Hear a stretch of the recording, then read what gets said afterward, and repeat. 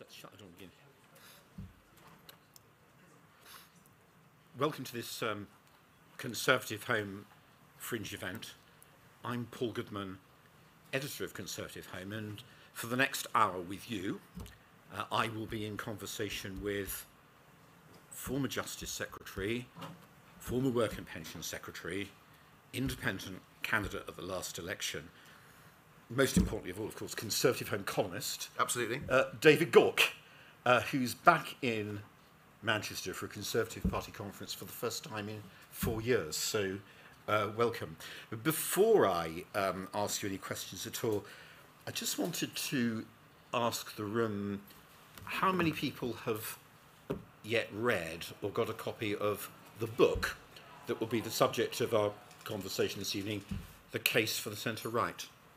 Anyone who's right? I just thought I'd test your knowledge of the book, as David will be doubtless testing mine when I ask him questions about it. Um, so, the very first question really ought to be a pretty general one, which is you've edited this book, which is a series of essays called The Case for the Centre Right. So, why don't you explain what you intended to achieve by putting it together and how you did it and when?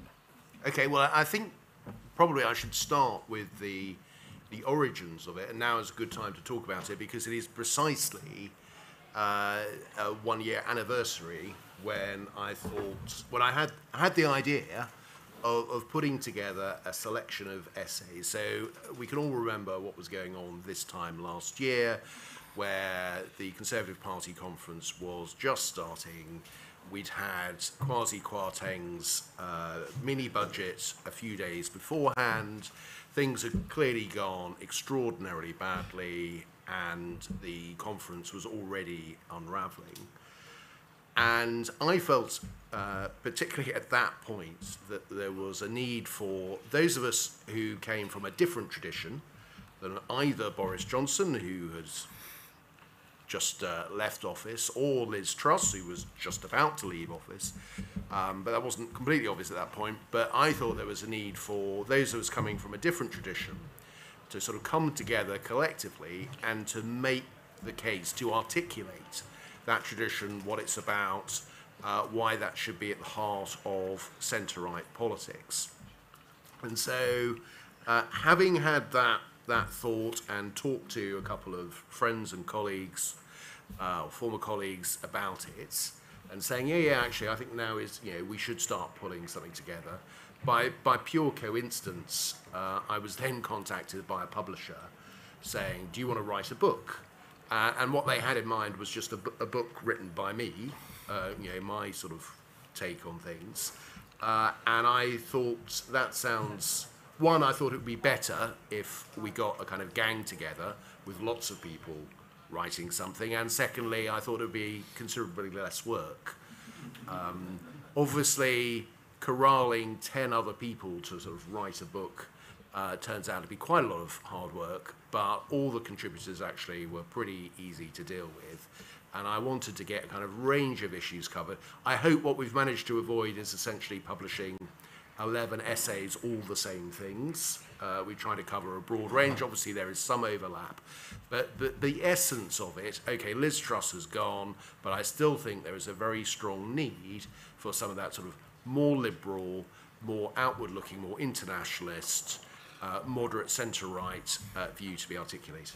Just tell them who some of the main Yes. contributors are. Well, actually, I, I will I'll do a very quick run through of, of so the 11 contributors. I've written the introduction, which is the very much the easiest thing to do. Uh, Andrew Cooper, uh, has written about the realignment of British politics. Rory Stewart has written about populism. Uh, Dominic Grieve has written about the rule of law and why that should be at the heart of centre right politics. Uh, Gavin Barwell has written about Brexit, but it's more sort of forward looking about what our relationship with the European Union ought to be. Tim Pitt, former special advisor, has written about the uh, economy. Uh, we have got Anne Milton, who's written about health policy, Sam Gyimah, written about science and technology, Amber Rudd, climate change, uh, and energy policy. Uh, and then we've got Michael Heseltine, who has written a sort of broad vision for the centre right, focused on devolution and also a closer relationship with the European Union. Uh, and then it concludes uh, with Danny Finkelstein, who asked the question well, what is the centre of politics and what distinguishes the centre right from the centre left? And, and some of you may have seen his uh, column in the Times last Wednesday, uh, which is to some extent a, a summary of that. You still need to read the full chapter, let me uh, be very clear, uh, but, but the essence of his argument is set out in, in, in that column. Okay. And next, just to set the broad terms, what do you think the centre right is? So I, I think the um, I think I would I would use the, the, the if you like the methodology that Danny set out, which is first of all you know what is the centre ground, and he argues that it's not just a question of kind of splitting the difference. In fact, it is a it's an approach to politics and policy that recognises problems are complex, uh, that we live in the world of trade-offs, uh, and um, uh, that you'll never you'll never have the sort of perfect policy that won't have downsides. It's a question of balancing, you know, risks, opportunities, and so on. Now, what distinguishes the centre right from the centre left, I think, is perhaps that the centre right, almost by temperament, is more likely to be uh, more cautious and more sceptical. Uh, more questioning about the ability of the state to solve every problem, uh, more skeptical that change will, in of itself, always improve things, that things can become you know, worse as well as better, um, uh, and uh, you know, will, will, will, as a consequence, not necessarily rush into the sort of big constitutional change idea. Change, of course, has a role, but we'll be a little bit more skeptical about that. Uh, will probably, when it comes to the economy, uh, be more uh, let's take tax policy as, as one example, that the centre right will be more cautious uh, that uh, tax rises on the wealthy uh, will provoke a behavioural response. The left will be more confident uh, that actually this will raise revenue and that the additional revenue will be used in such a way as to bring benefits. But it's a question of degree. It is not you know, no one on the centre left will say there is never to take that tax example. Uh, you know, the centre left will, will, will not be inclined to say there is never going to be a behavioural response. The centre right is, is, is never going to say uh, there'll be a complete behavioural response. You have to judge it on the circumstances at the time and you weigh up the risks. But I think the centre right, perhaps more sceptical, more cautious, uh, almost by, by, by temperament. Okay, you've set out your view of what the centre right is, and you've explained who the authors are. So I want to start by a couple of questions about what is not in the book. Uh, and the first is a question about authors. Um, no George Osborne, that might have been, no Philip Hammond, no, at least in her, her second incarnation, no Theresa May. Did you ask anyone else to write in the book who well, I'm not going to. I'm not going to run through every conversation. I, by and large, um, I got the people at the, the the, the people who I asked um, are the people who are in this. There was one other person, not someone who you have mentioned, who I did ask to write a chapter, and this person decided not to in the end. I did take a policy decision not to ask uh, any sitting MPs. Uh, there, I think there are sitting MPs who could have written uh, chapters in this and would have contributed quite a lot, but I felt it would have been potentially inhibiting for us and potentially embarrassing for them. And I, you know, I didn't want, I didn't want anyone who was sort of standing at the next election to have sort of words thrown to them, and I didn't want to feel in any way degree of self censorship. Um, but that was the sort of selection I had. As I say, there was there was one person who I, I was quite keen to get, who I didn't. But um, people generally said yes. Can I then ask you about what's not in it in the second way, which is um, I've read most of the chapters um, and gone through the subjects, and it would be fair to say there are some gaps. So there isn't a chapter on law and order, for example, there's a chapter on technology, but there's not a chapter on education. There isn't a chapter on work and pensions. There isn't really a, a chapter on the constitution. And these did seem to me to be quite large gaps. And is it arguable that with books of this kind, you end up fitting the subjects to the authors rather than doing what's arguably better, if you're writing a sort of policy based book, that you get the subjects and you then fit the authors to the subjects? we haven't tried to be exhaustive. I mean, I, I, I, and I don't, you know, I don't. I want to be clear. This is not a, this is not a manifesto. This is not a, you know, setting out a, a, a manifesto for a kind of liberal centre right, uh, and you know, therefore there's a sort of, you know, when we're putting up candidates or anything or any of that description. It's, it's, it's, it's not that. And you know, I, I'm, I, as I acknowledge in my introduction and repeatedly say not every contributor will sign up to everything every other contributor has said.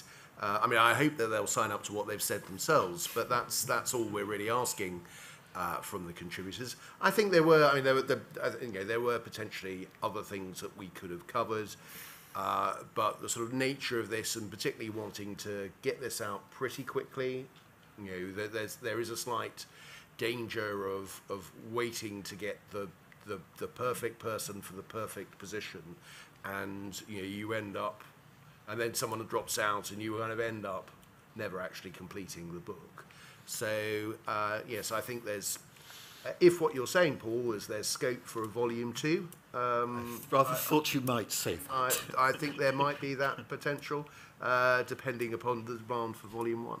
The difficulty about asking you questions about the other contributors is, of course, if I throw particular quotes at you, you will be able to take refuge in saying, "Well, I think it's an interesting contribution to the to the debate." So my next question. You say difficulty. I think that's one of the best attributes of editing a book rather than writing it all yourself. It's also one of the easiest attributes about answering the question if it comes to you. Yes. But um, could I therefore ask a, a question to you? that you really can't answer on behalf of others, but you can presumably answer for yourself, which is you've explained what you think centre right politics is, and you have a collection of authors. Do you yourself now believe that the only practicable vehicle for centre right politics in the UK is the Conservative Party? That's, I think it's a really, really good question and does get to the heart of it. And I think this is very much an issue where there are different views amongst the contributors. I mean, we have got Sam Gyimah as a contributor who, who fought for the Liberal Democrats. There are a few of us who are outside. I'm not a member of the Conservative Party um, and, and you know, haven't been for, for, for nearly four years. There are the majority, I think, are members of the Conservative Party. Um, the point I discussed this sort of specific point here and th- this is a sort of somewhat sort of gloomy prognosis coming from the uh, from the liberal centre right perspective perspective, but let, let me let me state it anyway.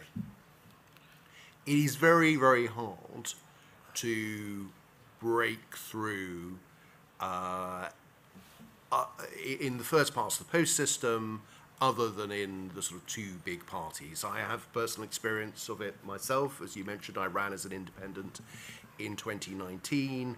Uh, and uh, one of the things that, that sort of struck me talking to voters then was that in, in many, many cases, what they had in mind, or the, you know, the question they had is, and the hardest question I ever got was, uh, at the end of this general election, either the leader of the Labour Party or the leader of the Conservative Party is going to be Prime Minister.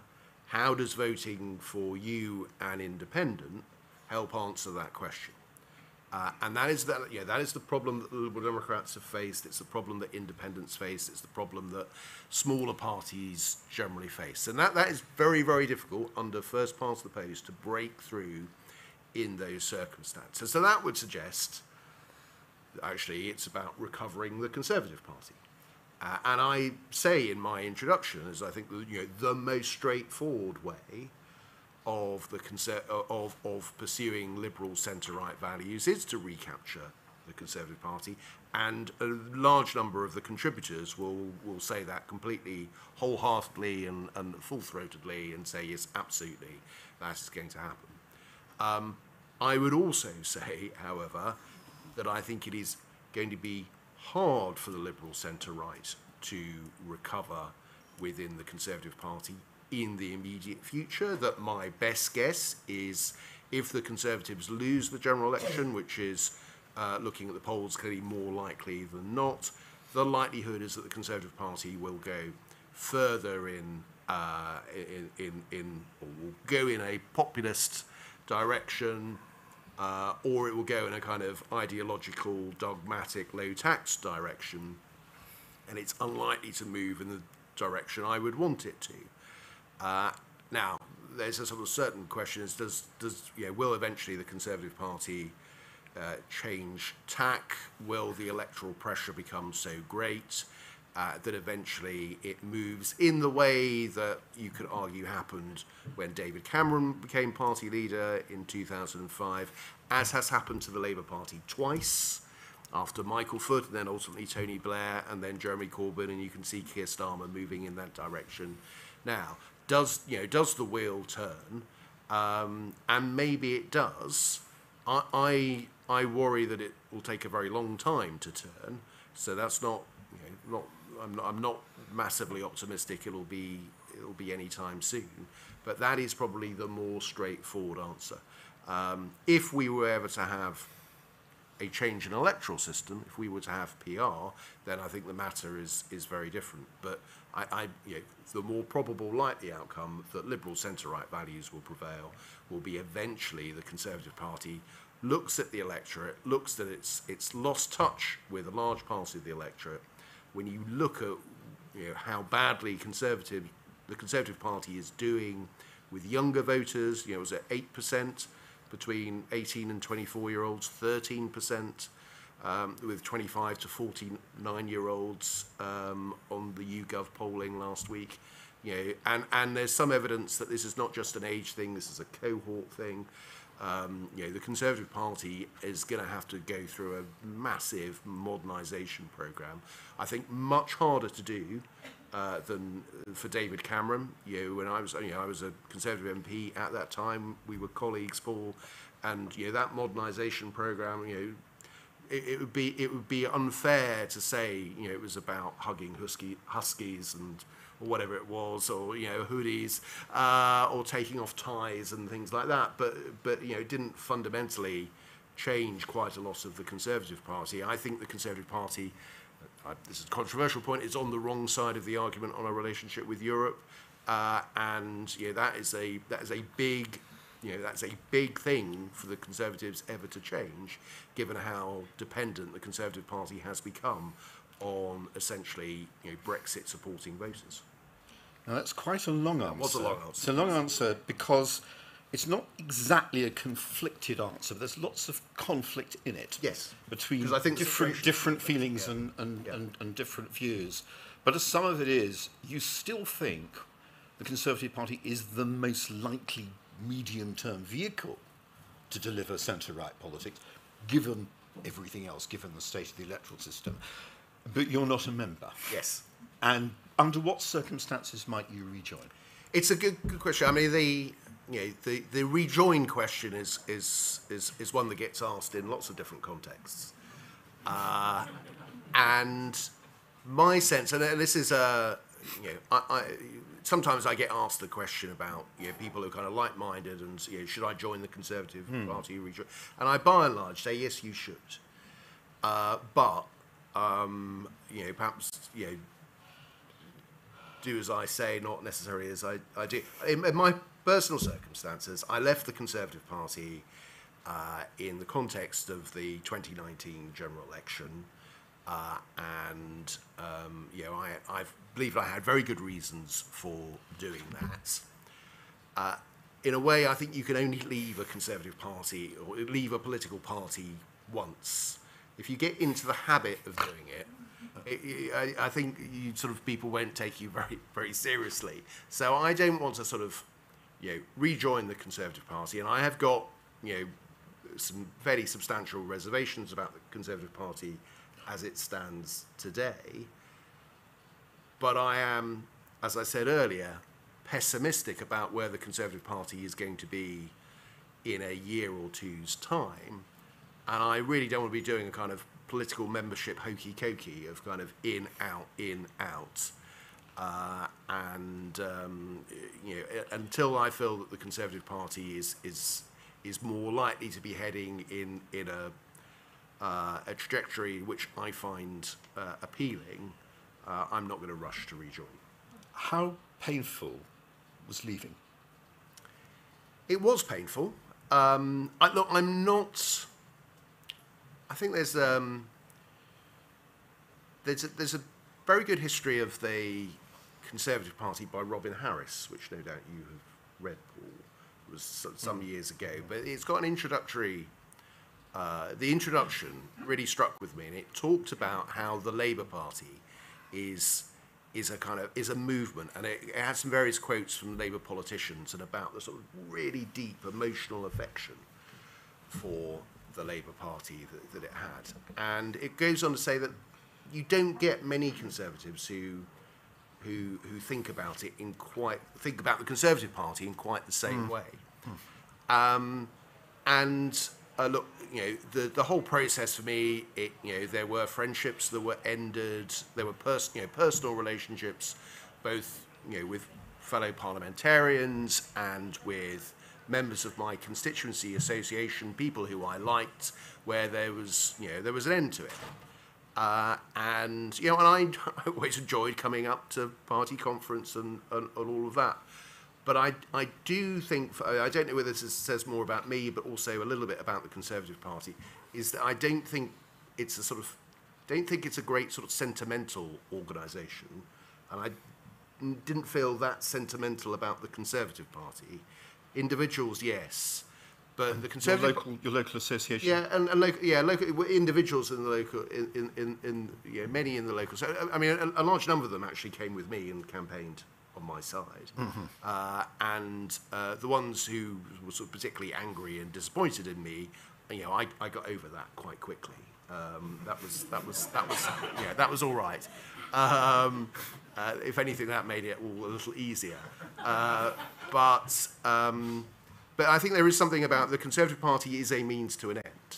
You know, and, and let's let's let's you know be clear. The, the, the point of the Conservative Party is is to deliver power uh, in a way that you know we, we want it to be delivered. Uh, and you know, at that point in 2019, I, I sort of stopped seeing the Conservative Party in that way. Part of the oddity of what's happened is that in the sort of zoology of the Conservative Party, of which I have to be an observer, I, I wouldn't traditionally have put you down automatically as being on the left of the party, which is what some people might assume Yeah. if they see this book. It's a kind of manifesto about the Tory left. I mean, I would have put you down until the earthquake of, of Brexit as a sort of fairly standard centre right, hmm. economically liberal, socially liberal, rather treasury minded conservative. If anything, when we were in the Commons, maybe slightly to the right of me. And yet, here you are. You've gone off in one way, Yeah. and you know Greg Clark, um, Caroline Nokes, Stephen Hammond, Stephen Brine. They're all back. You know these other members of the the twenty one who had the whip taken away. Yeah, I, you, you are absolutely right. And I, I certainly didn't see myself um, as being on the left of the Conservative Party when I arrived in Parliament. Um, uh, and you know, to some extent, I, I, I moved a bit, but I, I, you know, I do still consider, you know, the, the, hence the title. I consider myself to be someone on the centre right.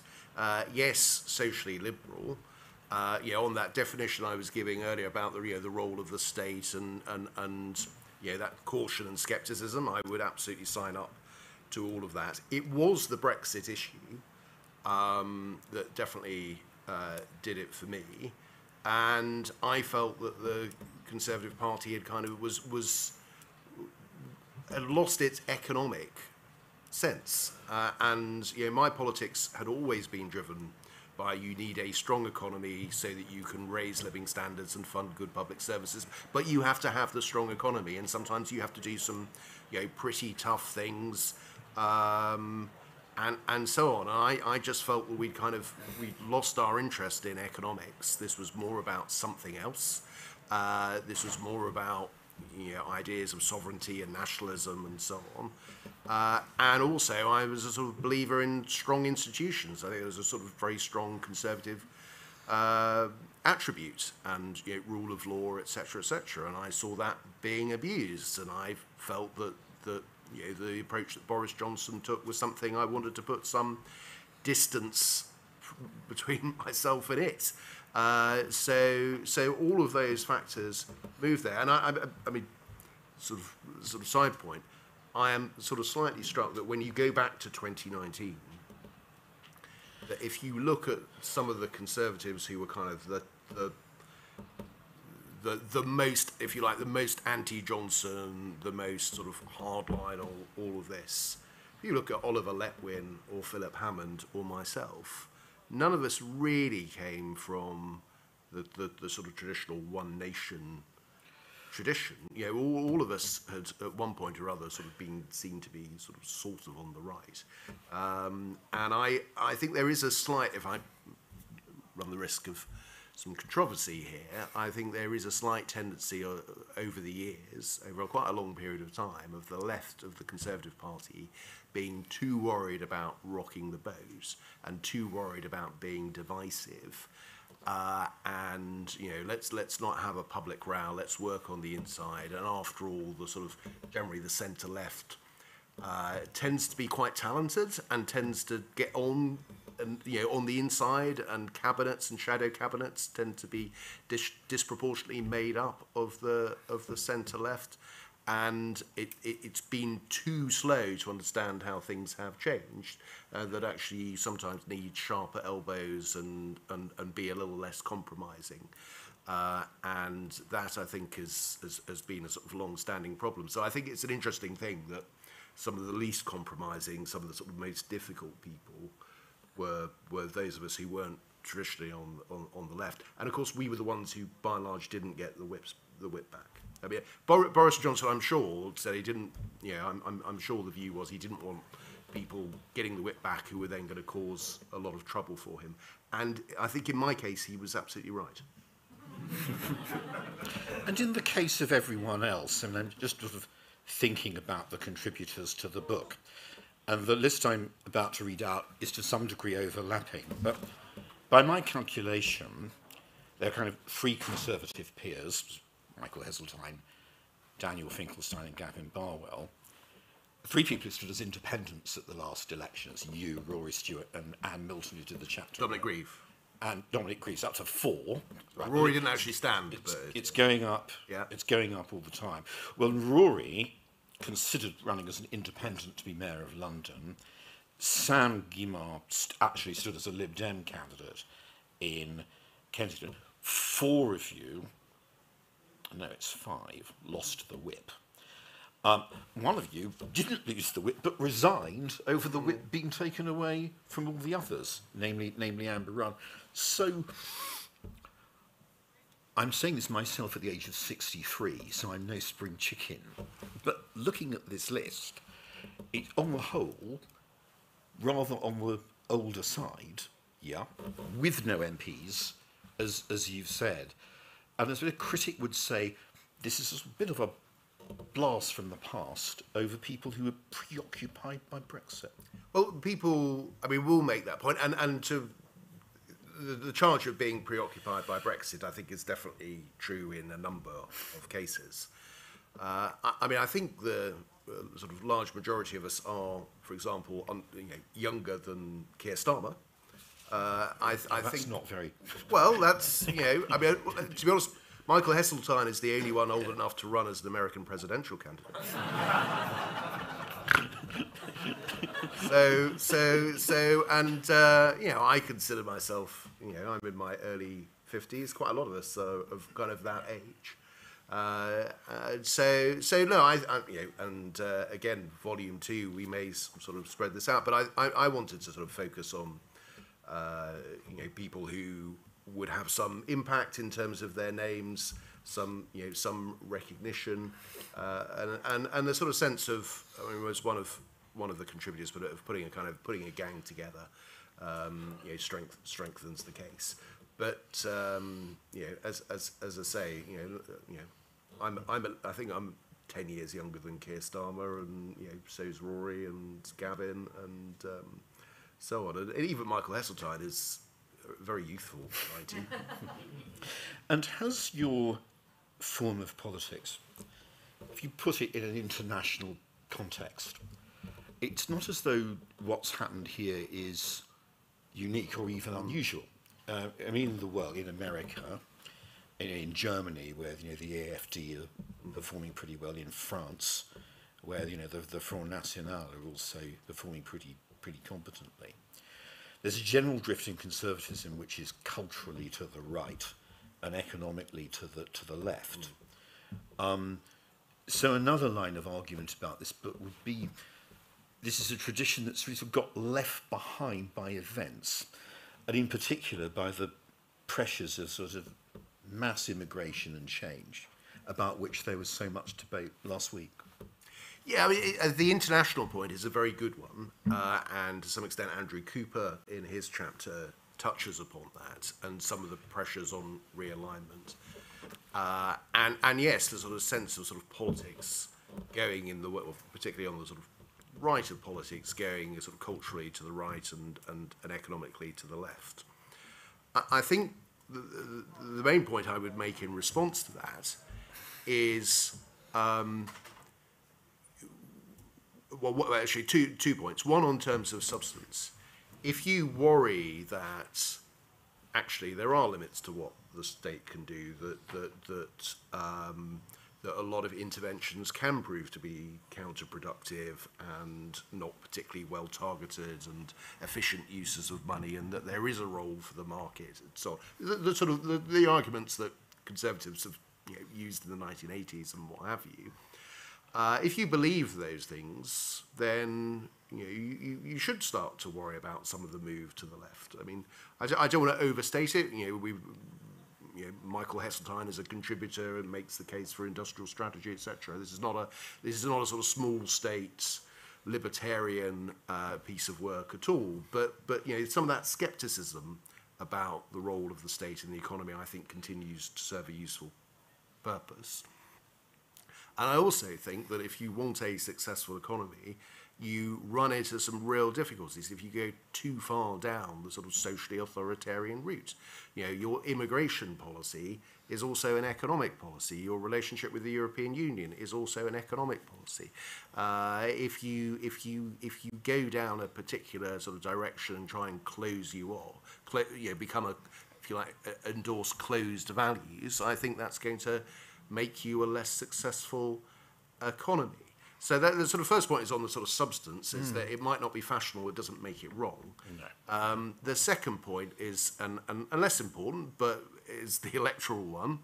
And you know, I think there is a real, you know, if, if, if, if the Conservative Party and other parties of the centre right essentially have a sort of set of values and a sort of an approach that that repels uh, educated voters when the proportion of graduates in amongst the electorate is growing all the time, you are endlessly sort of shrinking uh, your potential voter base and actually returning to substance. You're also going to start losing some economic arguments that you shouldn't be losing. You know that the centre right it just gets written off of everything uh, because it just you know repels those voters. And if you want to get a hearing on arguments about why you know market capitalism is the right form of of economy, uh, if you're doing that at the same time as espousing views on social issues that are just seem to be beyond the pale, you're not going to get a hearing. You're going to lose those arguments, and and and you know there are real risks that you know we end up going in the wrong direction on both economic and social policy. I think a counter argument, which is both a sort of half a moral argument and half an electoral argument, would be something like this. This sounds like pretty much um, the programme of David Cameron in opposition and the coalition in government. Electorally, David Cameron didn't manage to win a majority in 2010, got a majority of 12, I think, in 2015. So doesn't look to be substantial electoral support for this in terms of something that would deliver you a majority of 50, 60, 70, the kind of majority you need these days to mm. get much legislation through. And a critic would say it sounds a bit like a kind of return to a form of politics that is rather southern based, it's fine in London, service economy, you have quite a bit of immigration to sort of grease the wheels, but there's nothing much in it for the newer voters who came in in 2019. What's your counter counter yeah. argument to that?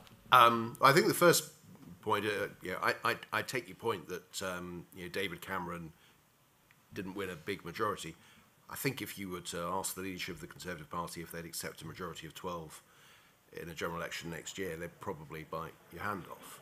Um, I, I, think the, I mean, the starting point does, I think, have to be about what is right for the country. I mean, I think it's a perfectly legitimate question about does this give you mm-hmm.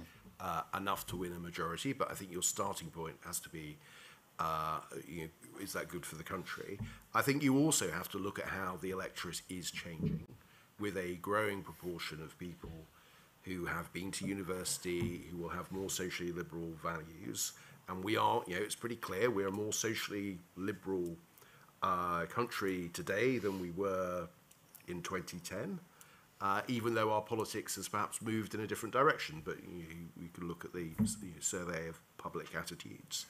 Um, and, and I think, you know, to some extent, the Conservative Party needs to think about where the electorate is, not just where it was in 2010 or where it was in 2019, or even where it is today, but where it is going. And I think there is a real risk that you know, centre-right politics could become marginalised uh, because because it's not it's not recognizing how things are changing and the, the, focus. And this is why it's really difficult for the Conservative Party. Oh, I recognize the dilemma. Why I think a core vote strategy that I think we're hearing at the moment a little bit from the party leadership in the short term probably makes sense because you're just trying to hold up, you know, trying to move from 25 to 30% of the vote. But at the same time, you're going to make it harder and harder to sort of win back the sort of people in the in the sort of in their twenties. I mean, I now, yeah, I now now um, spend most of my time working with a city law firm, uh, and I'll bet when I was a you know a city law firm, it had not very good time for the uh, for the Conservatives in the sort of mid late nineties. A lot of young city lawyers would have been still would have been Tory voters. I don't think that's the case anymore. You know, I don't think the people who I work with in a city law firm vote Conservative. Now, these are the best paid people of their cohort. Uh, and if it's happening there, you know, it's, it's happening much, much more broadly. And I think, you know, the Conservative Party is, is, is in a cul-de-sac. This point, I think, I mean, everyone's listening quite rapt. I think I ought to bring some people in to ask questions of David. So I'll take two at a time. Um, if you could identify yourselves, I'd be very grateful. So who, who's first? I'm going to take the lady there, and then, yes, I'll take you again. Um, the microphone's coming, so over to you. Hi, David. Um, I'm actually part of the Conservative One Nation group that I think you actually came to our Zoom call at the beginning yeah. of lockdown. Um, an awful lot of us agree very much with what you've said, is that we believe politics is about the economy. The drift, sorry, uh, the drift towards the centre right is alienating us. Uh, no, the, you know the, the alt right. The problem is, is that as you pointed out, that the Conservative Party is also going socially, uh, economically towards the left, social. So is the Labour Party. So where are those of us who are economically right going to go? We're completely politically homeless, and we need people like you who've written this book to come back in because when I talk to people, our friends, both sides of the political spectrum, we, we more or less agree, but there's nobody in the economic ground. Politics is going towards cultural issues, not the economy, which is where I'm sure it always used to be and still should be, in my view. Don't know yeah. if you've got any answers. Yeah, and we'll take the second. Um, yeah, thank you very much. I'm Julian Gallant. I'm the uh, group leader on Ealing Council, and I'm one of those sort of London. I consider myself a centre right, sort of absolute centre right, but pretty hard right on law and order. Um, so, in your model of a, of a, of a sort of centrist, rightist person, um, is there room for, for being for, for variation? um, it's, it's tricky. I mean, you, you're, you're trying to define the undefinable, really, aren't you? Yeah, it's. I mean, on those two points. I mean, look, you know, it, it's um, that sense of politics moving away from economics. I, I think is at the heart of this. Um, and, and look, you know, I, I you know, want to reiterate, with this is this is not a sort of hard right libertarian slash taxes. You know, to the extent that sort of themes come through, there's there's you know fiscal responsibility, caution on all of that. There is a role for the state, but you know, it's very much wanting a, a thriving private sector. And I, you know, I. I the, you know the Boris Johnson remark about business, which I'm not going to repeat, um, but the the kind of the very casual attitude to business concerns that we saw over the Brexit period, I think is really damaging, and and and and the Conservatives' reputation has not fully recovered uh, on, on on that particular uh, front. I do think people feel homeless. It, it's very hard for the reasons that you know, we've talked about under the first past the system first past the post system. I do think there is a gap there. I think there's a gap that the Liberal Democrats could take but are not taking. Um, uh, in the end, I think you know, sort of uh, nature pours a vacuum and all of that sort of thing that, that, it will be answered. Um, I don't claim that the book is you know, solves all the problems. It's necessary but not sufficient, but it is a sort of start start articulating what the sort of centre right is about. And in terms of sort of law and order, uh, as a point, look, I, as, as a justice secretary, I was sort of unashamedly a liberal figure.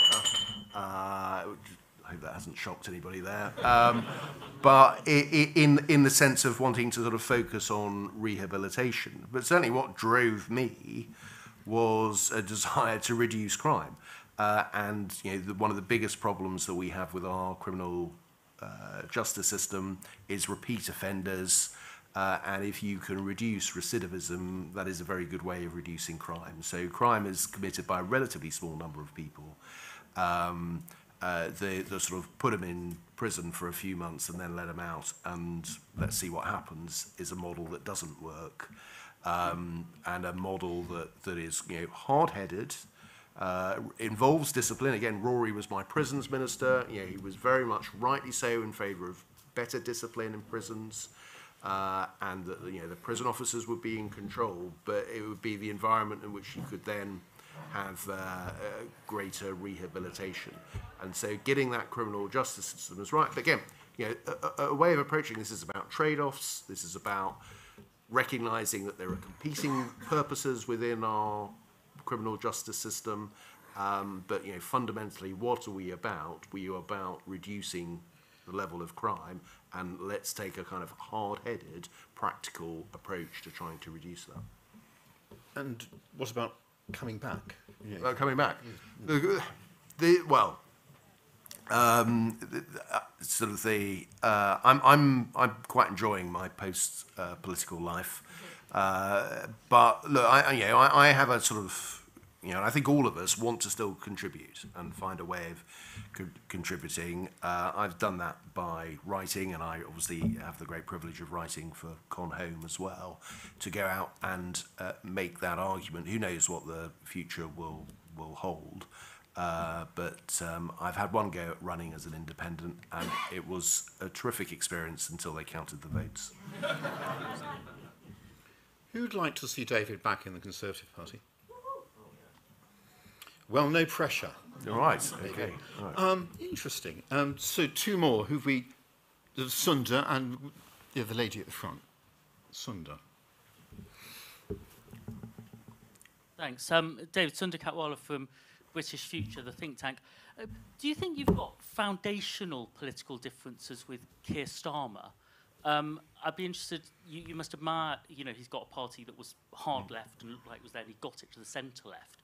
But what, what about his national agenda? Do you, do you sort of admire it, or do you think you think very differently about it? And uh, yeah.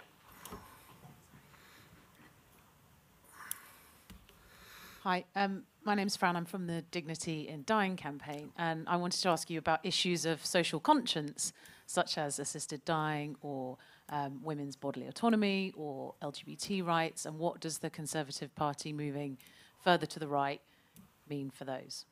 Right, okay. Um, actually, I'll start with that and then come to uh, Um, I mean, I think rightly these these issues are left to free votes. On, on most, certainly most of those are left to free votes. Uh, as you know, I'm, I'm supportive of the uh, campaign on dignity dying, and I think we should look again at that. And uh, I think Parliament will. Um, uh, I suspect Parliament will do so before that much longer. And, and as you know much better than I do, you're looking around the world. Uh, there is a you know, there is a move in a particular direction. Um, but I think that, that that doesn't necessarily sort of fit neatly in the kind of left-right sort of spectrum. Say I, I favour reform, but you know there are figures. So you know obviously Kit Malthouse, perhaps more on the sort of traditional right, but is an enthusiastic enthusiasts for reform in this area. Um, uh, but but um, you know, I, I would argue that a, a more liberal direction on that front would be would be very much welcome. Uh, and you know, notwithstanding, I think there has been a, con- a cultural move on some issues. I suspect the next time. Uh, there is a vote in Parliament, there'll be much, much more support for reform in this area than we saw um, when you know, we, Parliament last voted, whatever it was in 2016, was it? I can't remember. 15. Um, in terms of Keir Starmer, I mean, I'm slightly, I, I, I, on this issue, and maybe on this issue alone, I'm in touch with the electorate, I think, in that I'm not entirely sure I know what Keir Starmer really believes. Uh, I do think he has clearly moved the Labour Party a long way.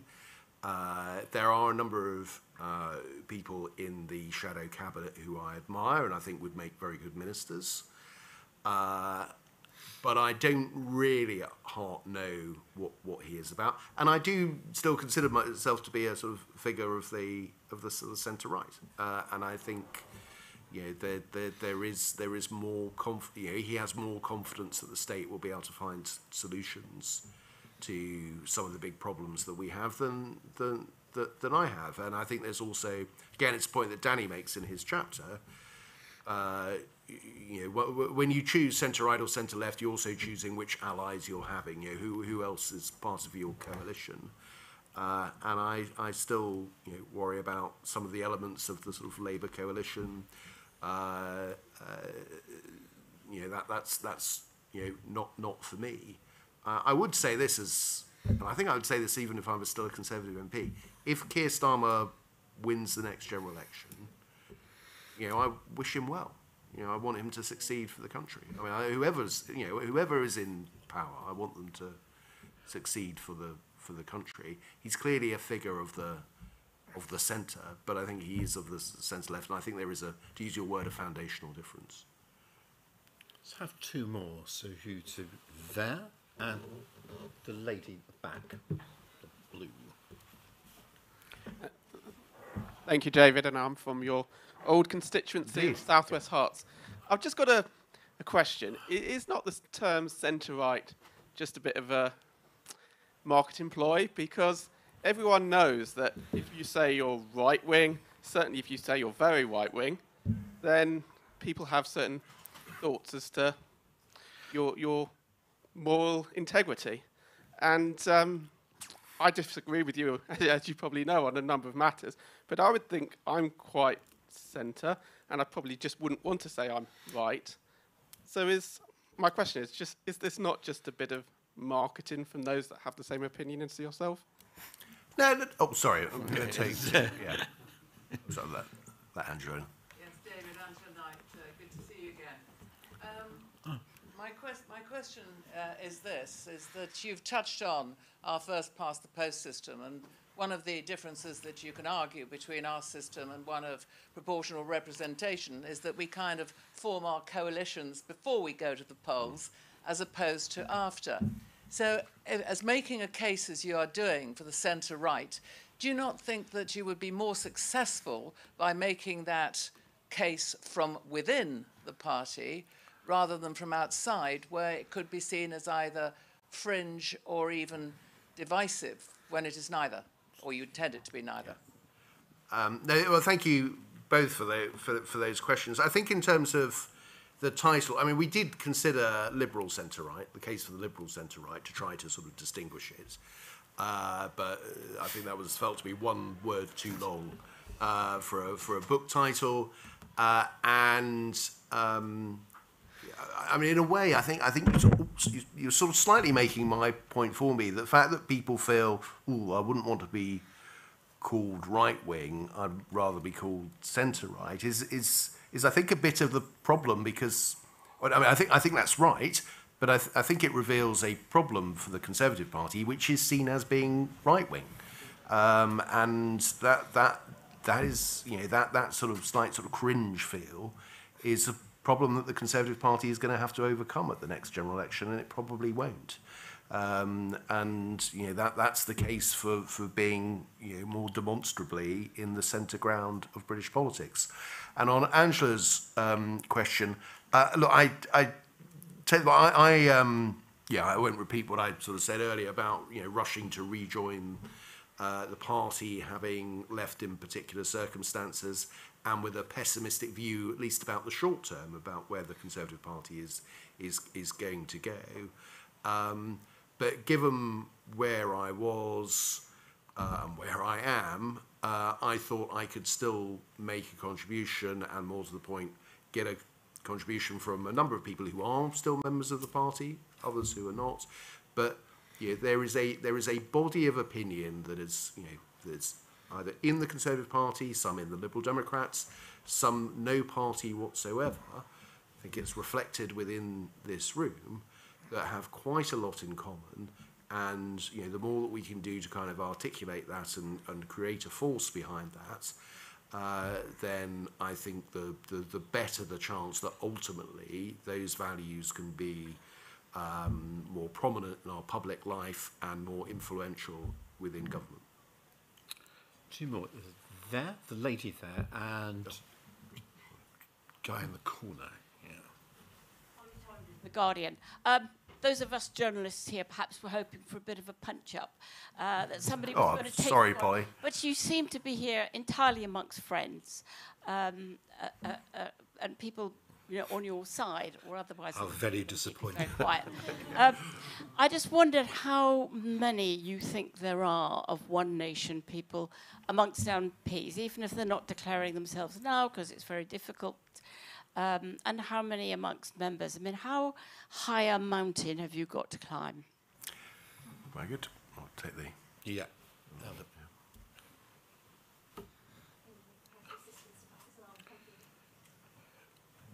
I'm, I'm David Graham, a county councillor in Gloucestershire.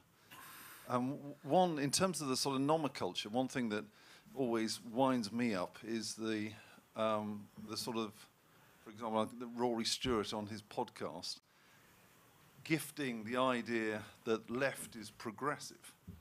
So, you know, may I make a suggestion that rather than centre right, progressive right might be uh, a more positive way of spinning it? Um, well, I think we, we're getting lots of um, suggestions on the title, and uh, to be fair, the title the title proved to be sort of one of the hardest issues of the whole process, um, which I understand from more experienced authors is not unusual, uh, and and I think there's a sort of use, useful debate to be had. I, I, I we can. I, I think centre right does convey what we're uh, about. It does seem to be upsetting one or two people who are sort of saying you're kind of colonising the centre right, and it, know, and to come back to Polly's point, maybe we're upsetting the right people. So, so small amount of a punch, punch up. Uh, on, on the reception, I should say, as Paul mentioned, this is the first time I've been to party conference since 2019, and I had had one or two comments of sort of people, "Oh, you're brave," and so. But I did come in 2019 having just lost the Conservative whip, and where I was demonstrably trying to do everything I could to stop the recently elected leader of the Conservative Party do what he wanted to do. And the response I got at uh, many functions was extraordinarily courteous and so on.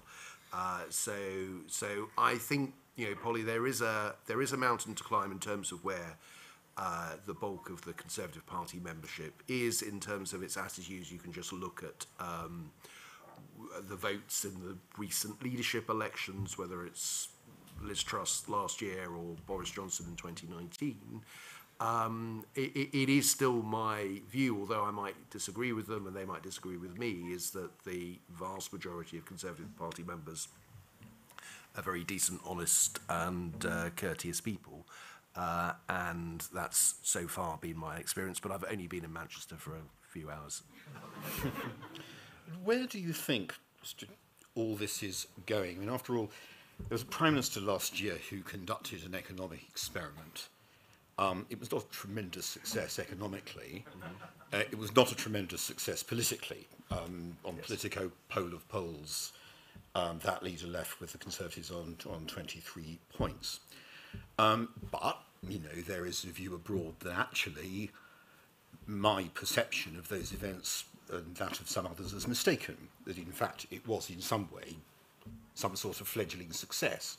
But it was a failure because of the OBR or the WEF or the Bank of England or something of which, with respect, you were almost an embodiment, which is Treasury orthodoxy. Mm, yes. Um, and that actually the whole thing is really ought to be a, a, a great success. And if the Conservatives return to it after the next election, whatever, guys, it will be a great success.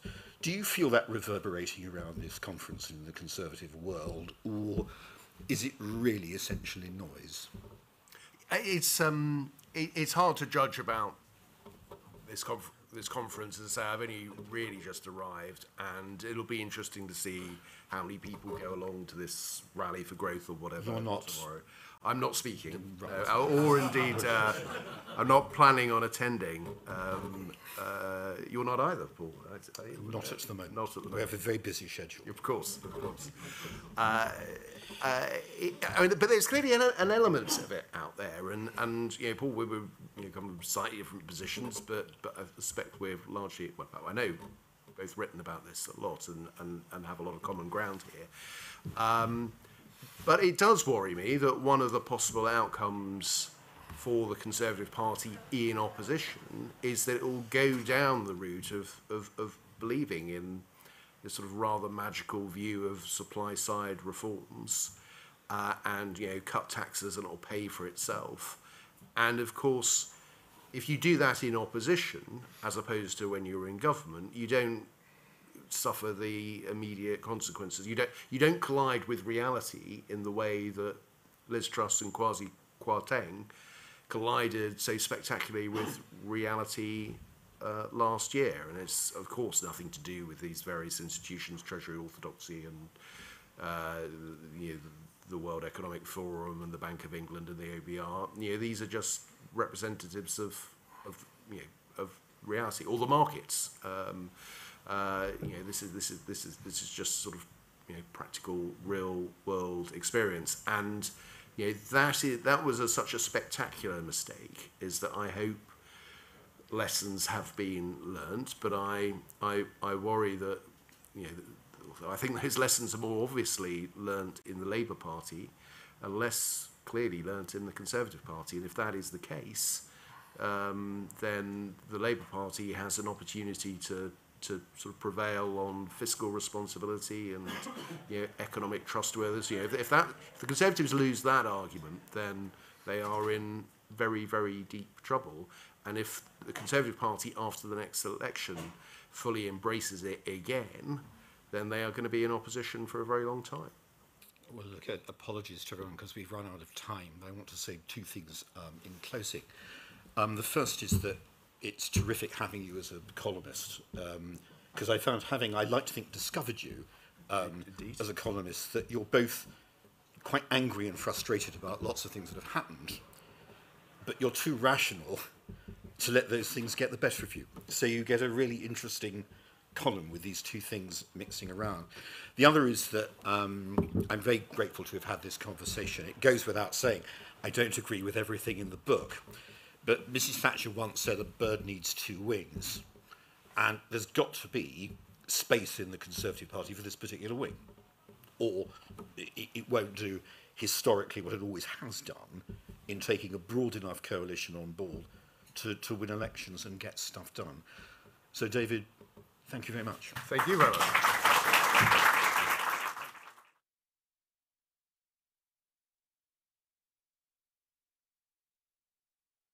Uh, two till three, so just to finish the advert. Thank you, Paul. Tomorrow, tomorrow. Yes.